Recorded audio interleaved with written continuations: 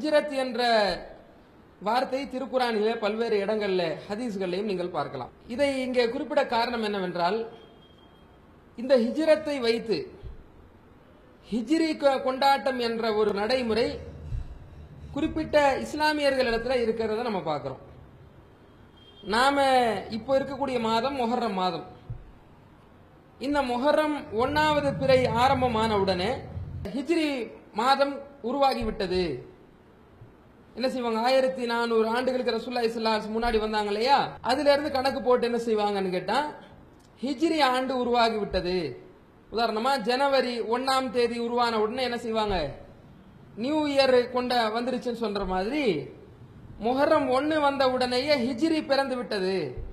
என்ற மாதிரி என்ன செய்வாங்கன்னு கேட்டா இஸ்லாமிக் கொண்டாட்டத்தை இஸ்லாமிக் நியூ இயர் மாதிரி என்ன செய்கிறாங்க ஹிஜ்ரா கமிட்டி என்று சொல்லக்கூடிய அவர்களா இருக்கட்டும் அல்லது சுன்னத் ஜமாத்தில் இருக்கக்கூடிய அவர்களாக இருக்கட்டும் முஸ்லீம்களில் ஒரு ஒரு வகையினர் ஒரு சாரார். இதை ஒரு கொண்டாட்டமாக கொண்டாடுவதை பார்க்குறோம். ஆகையினால இது சம்பந்தமான சுருக்கமான விஷயத்தை திருக்குறானுடைய வசனம் ரீதியாகவும் வரலாறு ரீதியான சில விஷயத்தை இந்த உரையில் நான் குறிப்பிட ஆசைப்படுகிறேன். இது என்னவென்று கேட்டால் நபிகள் நாயகம் சல்லல்லாஹு அலேஸ்லாம் அவர்களுடைய காலத்தில் ஹிஜ்ரி ஆண்டு என்று இருந்ததே கிடையாது. ரசூல்லாய் ஸல்லல்லாஹு அலேஸ்லம் பிறந்து வஃபாத்தானாங்கல்ல அறுபத்தி மூணு ஆண்டு காலம் ரசுல்லா வாழ்ந்தாங்கல்ல? அவங்க இந்த ஹிஜ்ரி ஆண்டு என்று ரசுல்லா உருவாக்கலை. ஒவ்வொரு பத்திரிகையிலும் எழுதுறாங்கல்ல ஹிஜ்ரி ஆயிரத்தி நானூற்றி முப்பது. காலண்டரில் எழுதுறாங்கல்ல ஹிஜ்ரி ஆயிரத்தி நானூற்றி முப்பது முப்பத்தி நாலு சொச்சம் எழுதுறாங்கல்ல. இப்படி எல்லாம் எழுதக்கூடிய அந்த பழக்கம் ரசுல்லா காலத்தில் குறைஞ்சிருக்குமா இல்லையா? அப்படி இருந்ததான்னு கேட்டால் இல்லை. ஏன் இல்லை அப்படின்னு கேட்டால் ரசுல்லாவுடைய வஃபாத்துக்கு பிறகுதான் இந்த ஹிஜ்ரியே உருவாக்கப்படுது. ரசுல்லாவுடைய மரணத்துக்கு பிறகு என்ன செய்யப்படுது? இந்த ஹிஜ்ரி என்ற ஆண்டே உருவாக்கப்படுது. ஆகவே அது ரெண்டாவது பகுதியை நான் விளக்குறேன். முதலாவதா ரசூலுல்லா காலத்தில் ஒரு ஆண்டினுடைய துவக்கத்தில் எதை எடுத்- எடுத்தாங்கன்றதை நம்ம பார்க்கணும். உதாரணமாக கிபி கிமுன்னு சொல்கிறாங்கல்ல கிபி கிமுனா என்ன அர்த்தம்? கிறிஸ்துவனுடைய பிறப்புக்கு முன். அப்படின்னு அர்த்தம் கிமுனா. கிறிஸ்தவ கிறிஸ்துவர்கள் இயேசு கிறிஸ்து அவர் பிறப்பதற்கு முன் என்பதுதான் கிமுன்னு வாங்க. கிறிஸ்தவ இந்த இயேசு கிறிஸ்துன்னு வாங்கல ஈசா அலைஹிஸ்ஸலாம் அவர் பிறப்பதற்கு பின் அப்படின்னு சொன்னா கிபி அப்படின்னு வாங்க. கிமு கிபி அப்படின்றது ஒரு பிறப்பை வைத்து முன் பின்னாக பிரிக்கிறாங்கல்ல. ரசூலுல்லா காலத்துல எப்படி இருந்தது என்று கேட்டால் ஒரு சம்பவத்தை வைத்து பிரித்து கொண்டிருந்தாங்க. ஒவ்வொரு முக்கியமான நிகழ்வுகள் நடக்கும் பொழுது அந்த ஆண்டை அதோட ஒப்பிட்டு சொல்லுவாங்க. இங்கே வந்து சென்னையில் வந்து கடலோர மாவட்டங்களில் சுனாமி வந்துச்சு. சுனாமி நடந்த பத்து மாதத்தில் இது நடந்துச்சு. சுனாமி நடந்த ரெண்டு வருஷத்தில் இது நடந்துச்சு. சென்னையில் வெள்ளம் வந்துச்சு. பெரிய அளவு வெள்ளம் வந்துச்சுல்ல. வெள்ளத்தை ஒரு உதாரணமாக காட்டி வெள்ளம் வந்து ரெண்டு ஆண்டு கழிச்சு. வெள்ளம் வருவதற்கு ஒரு ஆண்டு முன்னாடி என்ற மாதிரி ஒரு முக்கியமான நிகழ்வுகளோடு வருடத்தை கணக்கு போடக்கூடியவர்களாக ரசூலுல்லா காலத்தில் இருந்திருக்கிறாங்க. ஹிஜ்ரி என்ற ஒரு கணக்கு முறை ரசூல்லா காலத்தில் இல்லை. நபிகள் நாயகம் சல்லல்லாஹ் அலைஹி பிறப்பதற்கு முன்னாடி அங்கே வந்து காபத்துல்லா என்ற அந்த பள்ளிவாசல் இருக்கு பாருங்க. ஆதம் அலைஹிஸ்ஸலாம் இஸ்லாம் காலத்திலேருந்து கட்டப்பட்ட பள்ளிவாசல் இப்ராஹிம் இஸ்லாம் புனர் நிர்மாணம் செஞ்ச பள்ளிவாசல். இந்த காபா என்ற ஆலயத்தை இடிப்பதற்காக தகர்ப்பதற்காக ஆபரஹா என்ற ஒரு மன்னன் ஏமன் நாட்டிலிருந்து யானை படையோடு வர்றான். யானை படையோடு என்ன செய்யறான்? அழிச்சு இதை தரமட்டம் ஆக்கிடணும் உடைச்சிடணும் என்பதற்காக ஆபரஹா என்ற மன்னன் வர்றான். வரலாற்றில் பதியப்பட்ட ஒரு வரலாறு இது. அப்போ வரும்பொழுது அப்போ இறை தூதர் இல்லை. ரசுல்லா பிறக்கவே இல்லை அப்போ. அவன் வரக்கூடிய அந்த நேரத்தில் யானை படையோடு அழிப்பதற்கு வரக்கூடிய நேரத்தில் அல்லாஹ் குரான்ல சுட்டி காட்டுறான் என்ன நடந்தது என்று சுட்டி காட்டுறான் நூத்தி ஐந்தாவது அத்தியாயம் ஒன்னாவது வசனத்திலிருந்து ஐந்தாவது வசனம் வரைக்கும் நீங்கள் பார்க்கலாம். அலம் தர கைஃப ஃபாலரப்பு கபி அஸ்ஹாபில் ஃபீல். நபியே அந்த யானை படையை உமது ரப்பு உமது இறைவன் என்ன செய்தான் என்று நீ கவனிக்கவில்லையா? அலம் எஜ் அல் கைதஹும் ஃபி ததுலில். அவர்களுடைய சூழ்ச்சியை அவன் தோல்வியிலே முடிக்கவில்லையா? அவன் சூழ்ச்சி செஞ்சான் இடிச்சிடலான்னு சொல்லி அல்லாஹ் தோல்வியிலே முடிக்கவில்லையா? அரசல அலைஹிம் தொயரன் அபாபீல். அவர்களிடத்துல அபாபீல் என்ற பறவையை ப- பறவை கூட்டத்தை அல்லாஹு ரபுல் ஆலமீன் கூட்டமாக அனுப்பவில்லையா என்று கேட்கிறான். இவன் அழிக்கிறதுக்கு என்ன செய்யறான்ல மிகப்பெரிய இன்னொரு படைபலத்தை அனுப்பல. இன்னொரு யானை யானை படை அனுப்பல. ஒரு பறவை அபாபீல் என்று சொல்லக்கூடிய பறவை கூட்டத்தை அனுப்பினான் என்று அல்லாஹ் சுட்டி காட்டுறான் தர்மீஹிம் பி ஹிஜாரத்தின் மின் சிஜியில் அது சூடேற்றப்பட்ட கற்களை அவை எரிந்தன. அந்த பறவை என்ன செய்தது? சூடேற்றப்பட்ட கற்களை எல்லாம் எரிந்தது உடனே அவர்கள் மெல்லப்பட்ட வைக்கோல் போன்று ஆனார்கள். யானை படை அந்த மேல உட்கார்ந்துருக்கவங்க என்ன ஆனாங்க? மெல்லப்பட்ட துப்பப்பட்ட வைக்கோல் இருக்குமே.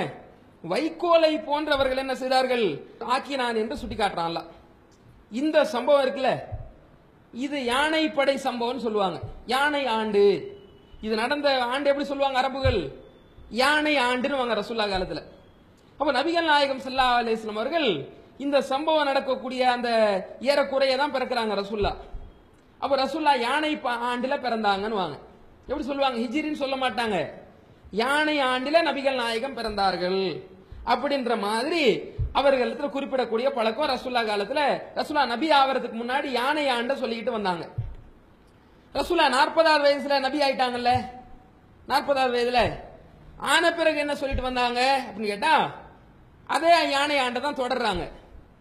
முக்கியமான சம்பவம் நடக்கும்ல அதோட சேர்த்துக்கிடுவாங்க. உதாரணமாக சொல்றதா இருந்தா மக்கா வெற்றி நடந்தது. நபிகள் நாயகம் சல்லா அலிஸ்லாம் அவர்கள் என்ன செஞ்சாங்க? மக்கால கிளம்பி எங்கே போனாங்க? மதீனாவுக்கு போனாங்க. மதீனாலேருந்து அந்த மக்காவை வெற்றி கொண்டாங்க. இதை எப்படி குறிப்பிடுவாங்க கேட்டால் ஆமல் ஃபத்துஹி வெற்றி கொள்ளப்பட்ட ஆண்டுன்னு குறிப்பிடுவாங்க. மக்கா வெற்றி கொள்ளப்பட்ட ஆண்ட ஆமல் ஃபத்துஹ்னு குறிப்பிடுவாங்க. இந்த இதுக்கு ரெண்டு வருஷம் முன்னாடி ரெண்டு வருஷம் பின்னாடி ரெண்டு மாசம் முன்னாடின்ற மாதிரி என்ன செஞ்சிருவாங்க? குறிப்பிடுவாங்க. ஆம ஹைபர். ஹைபர் என்ற ஒரு போர் நடந்து ஒரு கோட்டையை பிடிக்கக்கூடிய ஒரு போர். அந்த ஹைபர் ஆண்டை எப்படி குறிப்பிட்டாங்க ஆம ஹைபர். ஹைபர் நடந்த ஆண்டுன்ற மாதிரி முக்கியமான நிகழ்வுகளோடு தொடர்புபடுத்தி ரசூலுல்லா காலத்துல இதை சொல்லி கொண்டு வந்தார்கள்.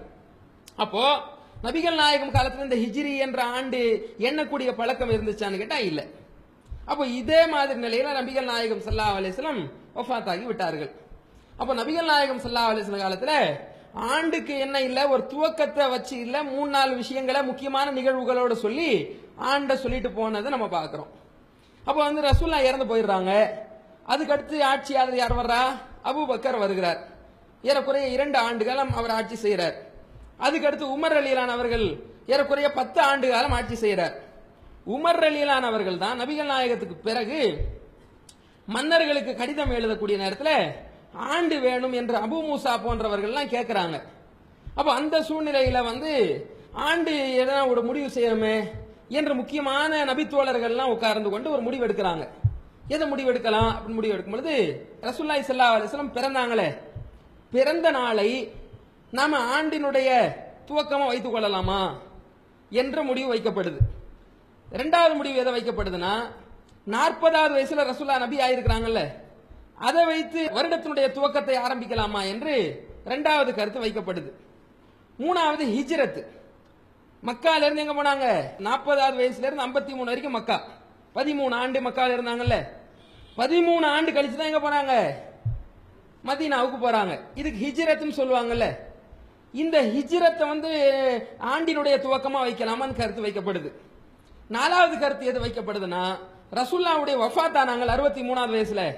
அந்த வஃபாத்தை வைத்து என்ன செய்யலாம்? வருடத்தை துவக்கலாமா என்று நாலு கருத்து வைக்கக்கூடிய நேரத்தில் பிறப்பு எதுன்ற மாதிரி அவங்களுக்கு முடிவாகல. நாற்பதாவது வயசு நபி ஆனாங்களே நுபுவத்து வந்துச்சே அதுவும் முடிவாகல. அதுல வந்து வஃபாத்து வந்து கவலைக்குரியதா இருக்குது அது வேணாம். எனவே ஹிஜ்ரத் மேற்கொண்டாங்களே அது இணை வைப்பான காரியத்தை விட்டு தூய்மையான நகரத்தை நோக்கி நாம போனோம். அங்கதான் நாம நிம்மதியா அல்லாஹ் வணங்க முடிஞ்சது. அங்க மதீனாவில் தான் நமக்கு வளர்ச்சிகள் கூடு வ- கூடுதலாக ஆனது. பள்ளிவாசல் கட்டக்கூடிய நிலை வந்து மதீனாவில் தான் ஏற்ப ஹிஜ்ரத்து செய்த பிறகுதான் ஏற்பட்ட காரணத்தினால ஹிஜ்ரத்து மேற்கொண்டதை வருடத்தினுடைய துவக்கமாக ஆக்கினார்கள். புரியுதா இல்லையா? வருடத்தினுடைய துவக்கம் எது? ரசூலுல்லாவுடைய ஐம்பத்தி மூணாவது வயசு முதல் ஹிஜ்ரி. நபிகள் நாயகம் ஐம்பத்தி மூணாவது வயசுல மக்காலிருந்து மதினா போறாங்களே. இந்த ஐம்பத்தி மூணாவது ஆண்டு கிளம்பி போனது ஹிஜ்ரில் எப்படி சொல்லுவாங்க? முதலாவது ஹிஜ்ரி என்று சொல்லுவாங்க. அப்போ நான் என்ன புரிஞ்சுக்கிறேன் நீங்க? இதுதான் நாளுடைய துவக்கம் என்று ரசூல்லா சொல்லல. அபூபக்கருக்கு பிறகு உமர் அலியலான் அவர்கள் ஹிஜ்ரத்து சென்ற- சென்றதை துவக்க ஆண்டாக அறிவித்தார். ரசூல்லா இதை உருவாக்கவில்லை என்று தெரிந்து கொண்டா இஸ்லாமிய கொண்டாட்டம் என்றது கொண்டாட முடியுமா? நபிகள் நாயகம் உருவாக்கிட்டு போயிருந்தா என்ன பண்ணியிருப்பாங்க இதை அவங்க செஞ்சிருப்பாங்கன்றத புரியணும். ஒன்று ரெண்டாவது என்னன்னு கேட்டா ஹிஜ்ரத் ஐம்பத்தி மூணாவது வயசுல மக்கால இருந்து மதீனாக்கு போனாங்கல்ல. இந்த நாட்டில் வாழ முடியல தொந்தரவு கொடுக்குறான் அடிக்கிறான் உதைக்கிறான்றதுக்காக மக்கா விட்டு மதினாவுக்கு ஐம்பத்தி மூணாவது வயசுல போனாங்கல்ல. போன மாசம் எது தெரியுமா? ரபியுல் அவ்வல் மாசத்துல போறாங்க. இப்போ நாம இருக்கிறது மொஹரம் முகரம் அடுத்து அடுத்து வரக்கூடிய மாசம் எது வரும்? இன்னும் ரெண்டு மாசம் கழிச்சு தான் எது வரும்னு கேட்டா ரபியுல் அவல் மாசம் வரும். அப்போ வந்து ரசூல்லாய் சல்லா அலிஸ்லாம் அவர்கள் ரபியுல் அவல் மாசத்துல தான் எங்க போயிருக்கிறாங்க? மக்கால இருந்து மதீனாவுக்கு போயிருக்கிறாங்க. மக்கால இருந்து மதீனாவுக்கு போயிருக்கிறாங்க. அப்போ ரபியுல் அவல் மாசத்தை தானே முதல் மாசமா அறிவிக்கணும் அப்படி பார்த்தா? எந்த மாசத்தை முதல்ல அறிவிச்சிருக்கிறாங்க? மொஹர்ரம் மாசத்தை முதல் மாசமாக ஹிஜ்ரியில அறிவிச்சிருக்கிறாங்க. இவங்க இந்த உமர் அலிலான் போன்ற சஹாபாக்கள். என்ன உஸ்மான் அவர்கள் அதுல ஒரு கருத்து சொன்னார். இது புனிதமான மாசம். முஹர்ரம் புனிதமான மாசமா இருக்கிறதுனால இந்த மாசம் நம்ம இருக்கிறோம்ல. இந்த முஹர்ரம் புனித மாதமா இருக்கு இது முதல் மாசமா வச்சுக்கிடுவோம். துவக்க ஆண்டாக ஹிஜ்ரத்து போனதை எடுத்துக்கிடுவோம்னு சொல்லி வருடத்தை ஹிஜ்ரத்திலிருந்து துவக்கினார்கள். மாதத்தை முஹர்ரமில் இருந்து துவக்கினார்கள். புரியுதா இல்லையா? அப்ப நபிகள் நாயகம் சல்லா அலிஸ்லம் ஹிஜ்ரி பத்துல இறந்து போனாங்கன்னு உங்களுக்கு பார்க்கலாம் நீங்க. ஹதீஸ்கள்ல பார்க்கலாம். ஹிஜ்ரி பத்துனா என்ன அர்த்தம்? ஐம்பத்தி மூணுல ஹிஜ்ரத்து போனது. அறுபத்தி மூணுல வஃபாத் ஆனது புரியுதா இல்லையா? ரசுல்லா மரணிச்சது நீங்க பார்த்தீங்கன்னு சொன்னா எப்படி வரும்? அறுபத்தி மூணுல மரணிச்சாங்கன்னு வரும். ஹிஜ்ரி பத்தில் மரணித்தார்கள்னு வரும். இதுல வந்து கொண்டாடுவதற்கு என்ன இருக்குது? ரசூலா கொண்டாடுறதா இருந்தா ரசூலா சொல்லிட்டு போயிருப்பாங்களே. ரசூலா சொல்லவே இல்லையே. ரசூலா உருவாக்கவே இல்லையே. பின்னாடி வந்த உமர் அவர்கள் தான் ஒரு கணக்கு எழுதுவதற்கு உலக நடைமுறைக்காக ஒரு ஏதாவது ஒரு அளவுகோல் சொல்ல வேண்டும் என்பதற்காக வருடத்தினுடைய துவக்கத்தையும் மாதத்துடைய மாதத்தினுடைய துவக்கத்தை சஹாபாக்கள் காலத்தில் உருவாக்குறாங்களே தவிர இதற்கு மார்க்க அங்கீகாரம்லாம் கிடையாது. இது வணக்க வழிபாடா இது? வணக்க வழிபாடு நன்மையெல்லாம் கிடையாது. நீங்க முகரத்தை முதல் மாசம் சொ- சொல்லாம அடுத்து வரக்கூடிய மாசம் ரஜப் இருக்குன்னு வைங்க. அடுத்த மாசம் அஹ், ரபியுல் போன்ற அடுத்தடுத்த மாசங்கள் இருக்கு பாருங்க. நீங்க அதை முதல் மாசம் சொன்னா அல்லா கிட்ட குற்றவாளி ஆக போறீங்களா? இதை முதல் மாசம் சொல்லாம வேற ஒன்று மாசத்தை முதல் மாசம் என்று சொன்ன அல்லாஹ் கிட்ட குற்றவாளி ஆக போறோமாங்க? கிடையாது. அப்போ மாதங்கள் என்பது பன்னிரண்டு என்றுதான் அடிப்படை. அல்ல குரான்ல இது சுட்டி காட்டுறான். ஒன்பதாவது அத்தியாயம் முப்பத்தி ஆறுல இன்ன இத்தத்த ஷுஹூரி இந்தல்லாஹி இஸ்னா அஷர ஷஹரன் ஃபி கிதாபில்லாஹி ஓம் ஹலக்க சமாவத்தி வளருது வானம் பூமி படைக்கப்பட்ட நாட்கள் முதல் வானங்கள் மற்றும் பூமி படைக்கப்பட்ட நாள் முதல் அல்லாஹ்வுடைய கிட்ட ஒரு ஏடு இருக்குது புக் இருக்குது. அந்த புக்கில் பன்னிரண்டு மாதங்களா அல்ல ஆக்கியிருக்கிறான்னு குரான்ல சுட்டி காட்டுறான். ஒன்பது முப்பத்தி ஆறுல. புரியுதா இல்லையா? உதாரணமா பூமி தன்னை தானே சுத்துது இல்லைங்க? பூமி இருக்கு பாரு நம்ம இருக்க பூமி. தன்னை தானே சுத்துறதுக்கு இருபத்தி நாலு மணி நேரம் ஆகும். தன்னை தானே சுற்றி கொண்டு சூரியனை சுத்தி வருது பாருங்க. சூரியனை சுற்றி வருவதற்கு முன்னூத்தி அறுபத்தஞ்சு நாள் ஆகும். தன்னை தானே சுற்றுவதற்கு பூமி எடுத்துக்கொள்ளக்கூடியது இருபத்தி நாலு மணி நேரம். அந்த பூமி சூரியனை சுற்றி அதே இடத்துக்கு வருவதற்கு முன்னூத்தி அறுபத்தைந்து நாள் எடுத்துக்கொள்ளும். அதான் குரான் அல்லாஹ் சுட்டி காட்டுறான். வானங்கள் மற்றும் பூமி படைக்கப்பட்ட நாட்கள் முதல் அல்லாவுடைய பதிவேட்டில் பன்னிரண்டு மாதங்களாக அல்லாஹ் ஆக்கியிருக்கிறன்றது அறிவியல் உண்மையை ஆயிரத்தி நானூறு ஆண்டுகளுக்கு முன்பே சொல்லிவிட்டான்.